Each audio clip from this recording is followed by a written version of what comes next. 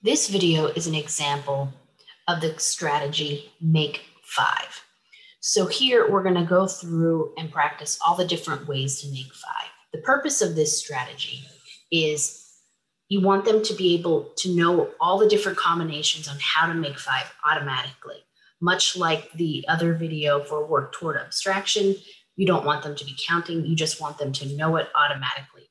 The reason for this is because this strategy is going to help them with their mental math for the future. So this is a really important strategy to have. So we're going to go through and practice all the different ways to make five. So here we will see two different colors. So there will be red and blue. And right now you can see zero red. So it's zero and five make five.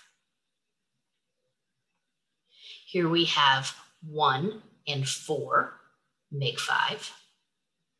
Two and three make five. Three and two make five.